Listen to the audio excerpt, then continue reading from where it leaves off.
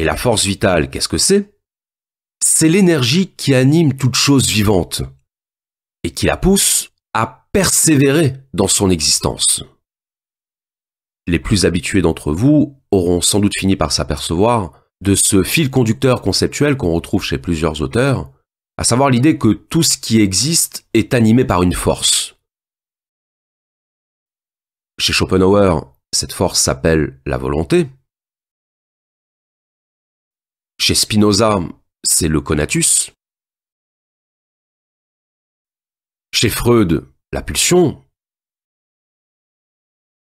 Et chez Nietzsche, cette force gravitationnelle qui régit le monde et les interactions au sein du monde, c'est ce qu'il appelle la volonté de puissance.